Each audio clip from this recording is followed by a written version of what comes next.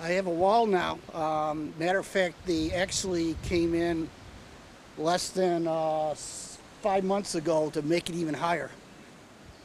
Yeah, it's this is not what I got now. It's not the original wall.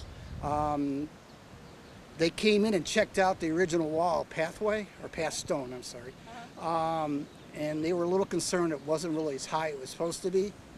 So they got an independent contractor to come in and they hired the wall, which I'm glad because basically, if you look, we have no water over where we are right now.